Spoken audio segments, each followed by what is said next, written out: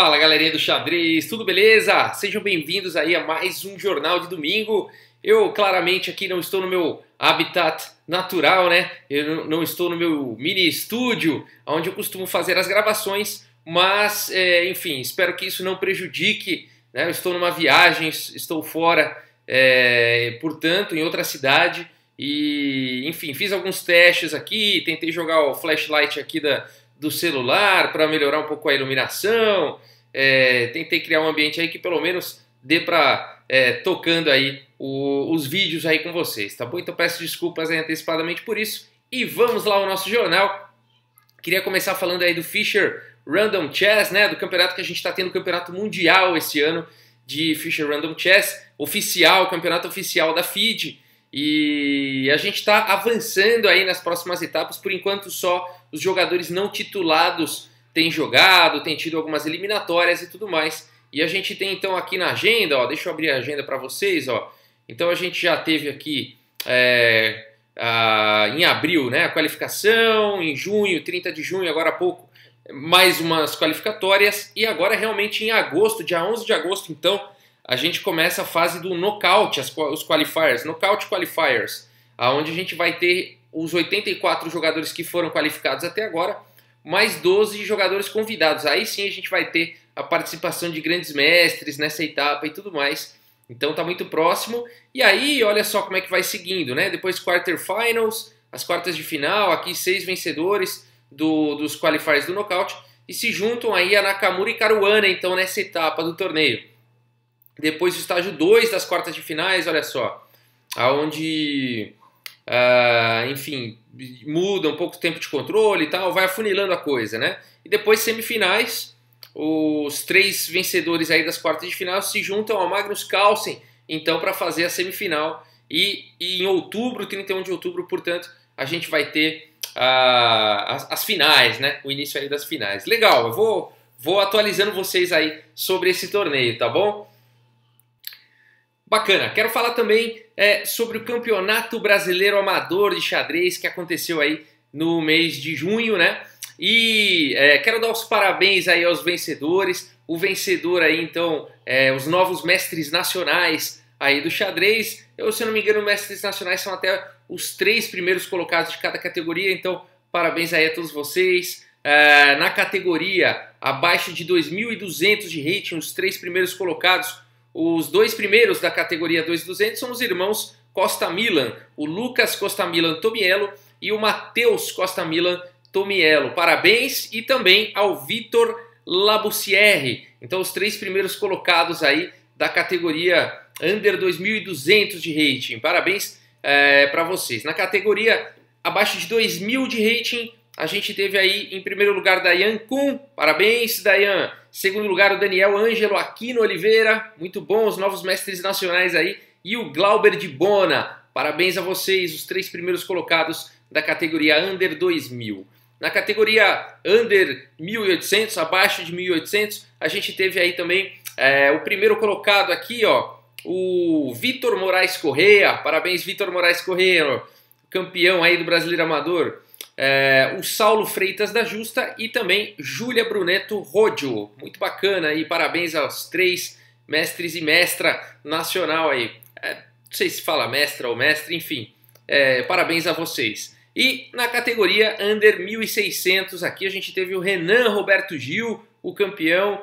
Uh, segundo lugar aqui o Francisco Mota Pereira Neto e a Isis Carvalho aqui em terceiro lugar. Parabéns aí a todos vocês, os novos mestres nacionais aí do, do xadrez. Deixa eu mostrar aqui algumas, alguns highlights aí de, dos campeões. Ó, aqui a gente tem, então, da categoria é, Under 2200, né, da categoria mais forte aí do Brasileiro Amador, uma partida. O, o Matheus aqui tá de negras nessa posição, o campeão então do, do Under 2200, jogando contra o, o, o Jonatas, Jonatas José de Magalhães. Ele faz o lance corajoso e bem calculado aqui. Cavalo toma G2 está afiado na tática Bispo G5 foi jogado e agora o bonito lance cavalo aqui em F4, olha só. É, então deixando a dama, mas atacando a dama do Jonatas e que seria cheque ainda com levando a torre na sequência, né? Então muito legal a posição, a partida seguiu com dama E3 e agora a dama continua atacada E agora mais um bonito lance aqui, que é o lance cavalo H3, dando cheque e protegido aqui pela dama, e depois de rei H1, cavalo toma aqui em G5, né? E aí já ficou uma, uma posição vantajosa aí para o Matheus. Ele está aí já nessa posição aí com dois peões a mais, né? A partida seguiu com o cavalo, toma aqui em G5, enfim, e a partida vai embora. Dois peões a mais aí para o Matheus numa combinação muito bonita, né? Bom, legal. E na categoria Under 2000, eu também quero fazer um highlight aqui da partida do Dayan, que foi o campeão, jogando aqui contra o Paulo Henrique. E uma posição bem legal, o Dayan tá de brancas aqui. Enfim, ele tá com o bispo, ele tá com a torre aqui atacada, né, nessa longa diagonal. O cavalo também tá caindo. E aqui ele se aproveita, né, do fato do rei estar tá aqui no centro. E ao invés de salvar a torre, vai para o lance mais forte aí da posição dama toma G4, deixando a torre e depois de bispo toma em H1, F6, um forte ataque aí sobre o bispo. Aqui o Paulo ainda tenta um lance legal, H5 aí, com o tempo sobre a dama. Mas agora dama G1, olha só, o bispo está atacado, os dois bispos estão atacados. A partida segue com bispo toma em F6, pelo menos levando o peão. E depois de G toma em F6, B4, atacando aí o cavalo, tentando complicar tudo aí o Paulo. Mas depois de dama toma em H1, o Paulo aí abandonou a partida, porque agora esse lance ainda vem com ataque sobre a torre, né? Mas foi legal aí a decisão, depois de bispo B7, né? A decisão aqui do Dayan de capturar o cavalo ao invés de salvar a torre e aí jogar com F6, explorar aí o rei no centro, explorar também essa longa diagonal com a dama, né? Muito bacana, parabéns aí, Dayan. Legal, na categoria sub 1800, a gente também tem aí uma partida muito interessante do Paulo César Vieira contra o campeão, então, do Under 1800, o Vitor Moraes Correia. E aqui o Vitor Moraes Correia é, tá de pretas, então, e nessa posição ele começa um combo muito bonito e com esse lance aqui, o cavalo na sexta horizontal, cavalo D3 protegido aqui pela dama e pela torre, tá atacando a torre. É, depois de torre B1, mais um lance muito instrutivo e muito forte aqui, torre F8 e a pressão agora muito grande aqui em F3. É, a partida segue com bispo D4 e agora bispo B4, botando pressão, ameaçando capturar aqui o cavalo, uma vez que esse cavalo aqui de F3 está cravado, a pressão é muito grande. E depois de bispo C3, parece que está tudo certo, está tudo defendido, só que não, né? Porque agora essa diagonal aqui ficou aberta e veio bispo C5, uma sequência muito forte. E depois de rei H1, cavalo aqui em F2, um combo muito bonito mesmo. É, depois de rei G1, simplesmente, aqui claro que existe cheque descoberto e tudo mais, mas eu gostei que o Vitor jogou de forma simples e efetiva, o melhor lance aqui da posição. É, percebam que aqui, olha que legal, esse cavalo em F2 está bloqueando a defesa aqui da dama em F3, então simplesmente o bispo também em F3, é o simples e efetivo ganhando uma peça limpa, né? O cavalo aqui se capturar é, tá caindo, né, de qualquer jeito, porque aqui está cravado, né, esse peão aqui de G2 está cravado. Então a posição muito forte, depois de B4, né, tentando armar pelo menos uma cilada aqui, se o bispo for para B6, vem C5, e aqui, claro, espertamente o Vitor faz o lance bispo E3 e o, e o Paulo César aqui abandona a partida porque não existe mais chances de contra-ataque, aí está com material a menos, e vitória aí merecida aí para o Vitor. Legal, parabéns aí aos dois jogadores e ao Vitor especificamente aí por ter é, vencido na sua categoria sub 1800. Bom, gente, e na categoria Under 1600 a gente tem uma partida muito interessante aqui do Davi Lupovici de Brancas jogando contra o campeão da categoria Sub 1600, o Renan Roberto Gil. Inclusive quero agradecer aí o e-mail do Renan Roberto Gil que me passou os links é, para baixar as partidas e tudo mais. Eu vou deixar aqui também na, na descrição do vídeo.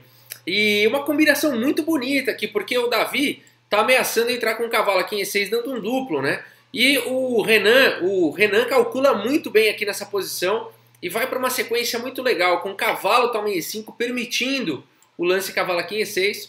Cavalo E6 foi jogado e agora dama E5 e as pretas estão muito fortes aqui nessa posição por conta da ameaça de cavalo G4 e dama entrando em H2. Aqui a partida segue com cavalo toma F8, ganhando a torre então, e imediatamente o Renan parte para esse lance aqui com cavalo toma em G4, é, cavalo G4, ameaçando a entrada aqui em H2. Né? É bem difícil de defender. Se você jogar um lance como G3, vem dama H6, né? vem ataque muito forte aí. Tá caindo em F2, né? Ah, então a partida seguiu com bispo toma em E4. E agora dama toma em H2 com cheque, rei F1, F toma aqui em E4, E se a gente for contar material agora, o Renan já está com o que? Uma torre a menos aí na posição, mas um ataque muito firme, né? A partida segue aqui com dama em B1 e agora a entrada do bispo aqui. Olha que legal, né? É difícil de achar esses, esses, esses lances aí do outro lado, né? E tudo mais. Muito bacana aqui o lance do Renan, bispo A6, cheque.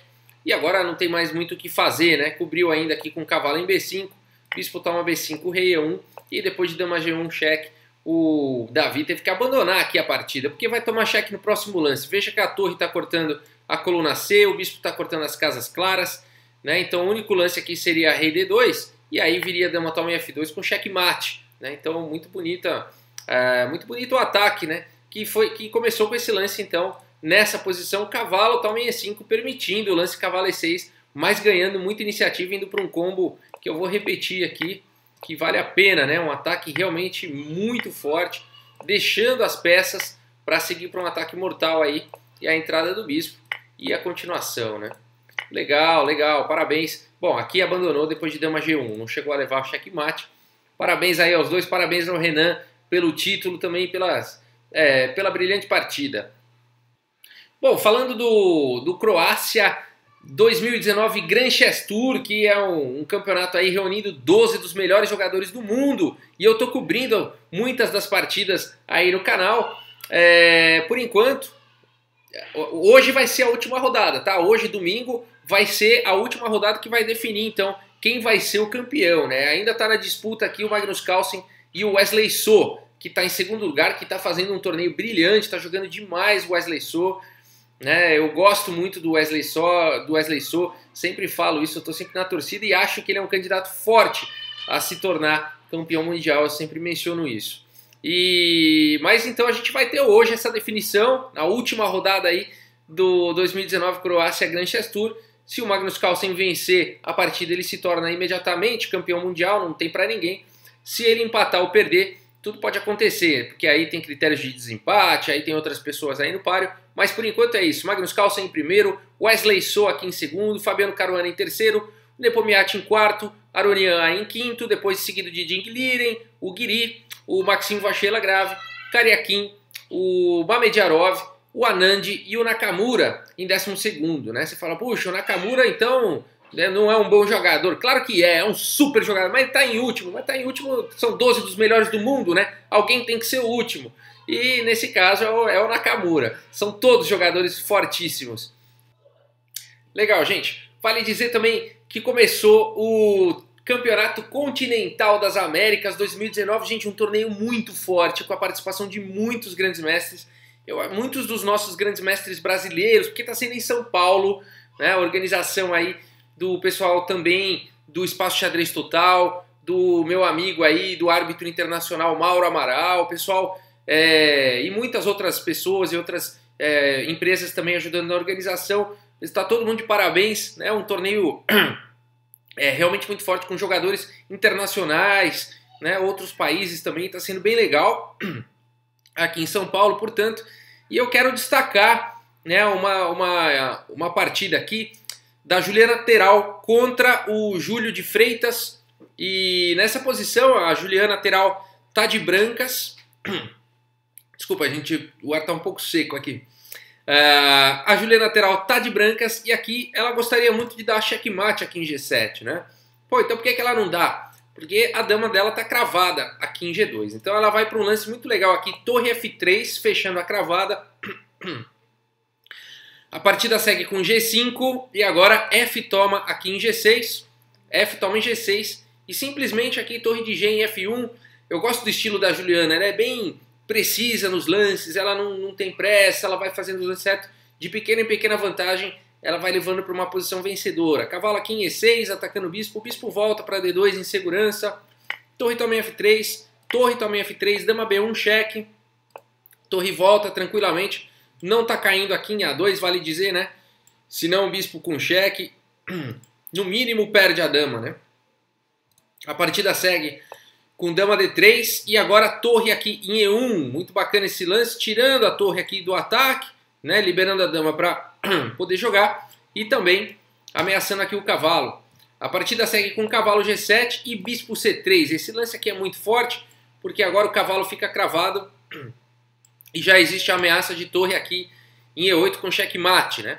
A partida segue com bispo H4 e agora a torre então está é, segurando ali o checkmate, a torre da Juliana está atacada e a Juliana vai para o lance dama E4 buscando aí a troca de damas, né? Não dá tempo de capturar aqui a torre, senão tá caindo a dama. E se tomar a dama, a torre sai do ataque. Muito legal a manobra aí da Juliana. E a partida segue, então, com dama também E4, torre também E4. E por que, que a Juliana fez essa simplificação? Porque agora as pretas têm um cavalo cravado, né? um bispo atacado, um peão na cesta e um cavalo muito bem colocado numa casa clara aí. Um cavalo monstro. Aí em D5 a partida segue com bispo G5 e aqui, enfim, vários lances são bons, mas a Juliana faz o lance que, na minha opinião, é o mais bonito. Dá para jogar aqui com D7, dá para jogar com bispo também A5, ganhando um peão. Mas a Juliana arremata aqui a partida com lance H4, muito forte realmente. Porque agora o bispo, enfim, ele vai ter que ou sair aqui dessa, é, dessa diagonal aqui, que é muito importante ela estar, ou a única casa que sobra seria em D8, mas ela leva o adversário leva checkmate na sequência, né? ela consegue dar checkmate na sequência. Então aqui a posição realmente não tem mais o que fazer e por isso que o adversário da, da Juliana aí abandonou nessa posição. Quis, eu quis mostrar essa, essa partida aí, de todas que eu vi, eu achei uma das mais instrutivas e mais bonitas aí. Legal, gente. Muita gente pergunta, Rafael, me fala um pouco mais aí sobre a Academia Xadrez Brasil, como é que ela funciona, eu vou aprender, eu vou melhorar. Me conta aí e tudo mais. Então vou mostrar rapidamente aqui para vocês um pouquinho da Academia Xadrez Brasil. É, enfim, são vários cursos nas categorias aí de aberturas, estratégia, finais, é, regras para quem realmente está aprendendo do zero e táticas, né? Então são as principais categorias aí de aprendizado do xadrez. Então a gente tem aqui, por exemplo, a arte de trocar peças, aberturas com E4, uh, aprenda xadrez, casas e regras especiais para quem está aprendendo, mover e capturar para quem está aprendendo, estratégia em videoaulas, é, finais com peão nível intermediário, finais com peão todo básico, introdução às aberturas, introdução às táticas, enfim. E todo mês a gente tem curso novo aí na academia também. Eu vou pegar aqui algum exemplo, vamos pegar a estratégia aqui, vamos pegar esse, a arte de trocar peças e vamos dar uma olhada aqui. É, então cada curso tem uma quantidade de aulas, tá? Então nesse caso aqui na arte de trocar peças a gente tem aqui 25 aulas Vamos pegar alguma aqui. Vou pegar essa aqui para mostrar para vocês mais ou menos como é que é o, o, funcionamento aí das aulas, como é que é a dinâmica, né? Então todo, todo, toda aula começa com uma posição. Aqui no caso a gente está falando de estratégia, a arte de trocar peças. Então a gente tem que encontrar o melhor plano aqui, não é encontrar o melhor lance. Claro que todo, toda vez você vai ter que achar o melhor lance, né? Mas dentro de um plano, tá? Então não é simplesmente uma tática aqui, é estratégia. Então aqui ele explica, né? Existe uma introdução em cada aula, aqui uma explicação que vai dar a base para a gente entender o que, que, ele fala, mas basicamente aqui ele está falando que é, um primeiro olhar aí faz a gente pensar que as brancas podem estar tá melhor, mas as pretas podem lutar para construir uma estrutura de peões favorável aqui. Então esse é o desafio aqui das negras. Quem está jogando aqui de brancas, ó, o Liu, Boyevich, é o, é o Liu Boyevich, contra o Karpov, se foi em Linares em 81, Karpov então tá de negras, é vez das negras aqui, e o Karpov tem que achar um jeito de ativar aqui esse cavalo, né, o cavalo aqui de E7. E ele gostaria muito, por exemplo, de ir para F5, mas as brancas podem tocar esse cavalo com G4, né? Então, o Karpov tem que... Será que o Karpov está pior aqui? A questão é essa que o desafio coloca, né? Será que então as brancas estão melhores, estão com mais espaço e as pretas vão ficar recuadas aí? Então esse é o desafio. E aí você tem que buscar algum lance aqui. Por exemplo, eu vou jogar cavalo aqui F5 direto, que não é o lance correto, é incorreto, não muito sutil. O jogador de brancas pode expulsar esse cavalo, primeiro tirando o bispo para F2 e depois jogando G4.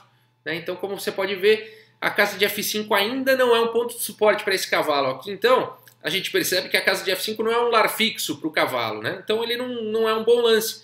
A gente tem que criar uma estrutura de peões para dar suporte para esse cavalo. Então isso me leva a crer é, que o melhor lance talvez seja jogar G6, né, e depois de uma possível troca de peões jogar com H5, e aí sim eu vou ter uma estrutura legal para botar meu cavalo em F5 e evitar G4. Né? Então agora a gente já descobriu esse mini plano, né? Mas se você não tivesse descoberto ainda, eu vou jogar Rei C8, né? E aqui, ó, isso não tem nada a ver com dominar a casa de F5. Então você vai sendo encaminhado aí para a solução, né? Você pode pedir uma dica, ó. F5 é a casa dos sonhos, né? Mas o peão G branco pode avançar para G4 e aí, enfim, ele vai ter esse controle, né? Então o G4 precisa ser controlado. Como isso pode ser alcançado? Né? Então agora eu vou fazer aqui, é, vou perder a dama, ó, só para mostrar. Bom, o que posso perguntar? Está defendendo sua dama? Né? Então aqui, é, enfim, lances errados, né? Ó, esse realmente é um excelente movimento porque torna sua dama muito ativa e cria ameaças imediatas contra o peão de H5, né, via cheque a linha H1. É, por melhor que seja, porém, o nosso principal movimento é, é, muito melhor. Então vamos fazer aqui o lance G6, ó. E aí sim, ó, longe de ser o pior jogador de pretas, é, tem todo o direito de lutar por uma vantagem. Como? Nossa primeira jogada responde essa pergunta. O preto quer o uso permanente da casa F5, mas G4 afugentaria o cavalo. Né? Então aqui ele vai explicando, a estrutura de peões não está favorecendo o cavalo, então a gente vai criar essa estrutura de, de, peões que vai favorecer. Vamos ver como continua então. Peão toma, aqui pior, ele fala que pior seria G4, porque aí toma, toma, e aí o cavalo ganha F5 de todo jeito. Ah, aqui o peão toma então, para criar o lar, e agora a gente precisa jogar H5, né? Só que agora o Lyuboyevich faz esse lance aqui preparando B4. Então, o que, que você acha que o Karpov né, ia fazer aqui. O Karpov é um grande jogador posicional, ele não vai sair para tudo ou nada jogando H5, ele toma o seu tempo aqui para jogar um lance A5, o lance correto, ó. leva aqui um movimento para evitar B4, e depois disso ele continua os planos na ala do rei. Né? Então agora jogando aqui, preparando um A4, vou fazer um lance errado de novo aqui, ó. Pronto, por alguma razão você não está completando o plano que você começou com G6, né? Procure uma combinação temática do seu plano para possuir a casa de F5. Então vamos continuar com o nosso plano aqui. Vou jogar um outro errado, ó, G5. Ó. Você está pendurando o peão, depois de F toma G5, porque dama toma em E5, perde a dama para bispo em F4. Ah, Rafael, está muito confuso de entender. Você pode abrir o tabuleiro auxiliar. Eu vou abrir aqui para mostrar. Então ele já abre aqui na posição. E aí você vai lendo ali e vai falando, bom, então aqui é... Bom, tem que girar né, o tabuleiro para ficar na mesma posição. Então aqui é o seguinte, ele está tá dizendo que esse lance é ruim, porque se tomar aqui e eu tomar aqui em E5, vai vir bispo F4, cravando a dama, né? E aí já era, vai perder peça. Então aí você abre o tabuleiro auxiliar se tiver muito difícil de acompanhar o texto, e isso vai te ajudar. Enfim, vamos fazer o lance H5 e aí tá tudo certo, é isso aí, correto. Então a gente aprendeu né, o, a criar uma estrutura de peões melhor para jogar o lance cavalo F5. Você vê todo pra, o preparo que existiu aqui para conseguir esse ganho estratégico de jogar o cavalo em F5. Legal, né? E ainda você pode eh, continuar acompanhando o resto da partida aqui, é, fazendo esses lances, abrindo o tabuleiro auxiliar aí e fazendo esses lances para você ver como a partida continuou. Legal. Bacana, espero que vocês tenham gostado aí da academia. Uh, por fim, gente, partidas de inscritos. Deixa eu comentar sobre isso. Eu tenho recebido bastante gente, quero agradecer aí todo mundo que vem mandando partida. Pô, faz análise dessa minha partida, essa minha partida é sensacional e tal. E tem muitas mesmo, eu, eu vejo muitas delas. E, e até comento, puxa, sensacional tal. Só que como tem muita gente, né? Então eu até criei esse formulário, tem o link aí na descrição do vídeo, o formulário para você mandar a sua partida PGN. E para ser justo aí com todo mundo, eu vou fazer todo domingo um sorteio, tá bom? Então eu vou sortear a partida de um inscrito para fazer a análise no, na outra semana. Então agora eu vou fazer um sorteio, inclusive, de uma partida para ser analisada no, no, próximo jornal de domingo, tá bom? E como é que funciona isso? Bom, todo, todo mundo que preenche o formulário é, entra nessa minha planilha aqui, tá bom? Aqui é uma Google Sheets, aqui é uma planilha vinculada ao formulário. Então, a primeira linha aqui é de número 2 e a gente tem é, até o número 143, então eu já recebi aí é, uma boa quantidade de partidas e eu vou fazer um sorteio. Como é que é esse sorteio? Eu vou entrar aqui ó, no Google, ó. tem o Random Number Generator, um, um gerador de número aleatório. Eu vou pôr aqui o número mínimo 2 e o número máximo 143, se não me falha a memória, né? Vamos ver de novo. 143, o número da linha. E agora eu vou gerar um número aleatório, o número que cair. Eu vejo lá naquela linha o, a pessoa correspondente, a partida correspondente, e faço a análise no próximo jornal de domingo, tá bom? Vamos ver quem é. O premiado número 28. Vamos lá ver o número 28. Vamos lá, vamos subir aqui. E a gente já fala quem é. Ó. Vamos lá. 28, olha aqui. Márcio Fraga da Rocha Lima. Legal, Márcio Fraga da Rocha Lima. Então, no próximo Jornal de Domingo, a gente vai ter a sua partida analisada aqui no canal e, o, e mais um sorteio, né? E assim por diante nas outras semanas. Beleza, gente? Muito obrigado pela audiência de vocês. Um bom domingo aí a todos vocês. Vamos acompanhar aí a, a, a última partida aí do 2019 Croácia, Croácia Grand Chess Tour. Beleza, gente? Eu vou deixar todos os links aqui na descrição do vídeo, tá bom? Muito obrigado mais uma vez. Um grande abraço para todos vocês e até a próxima, pessoal. Valeu!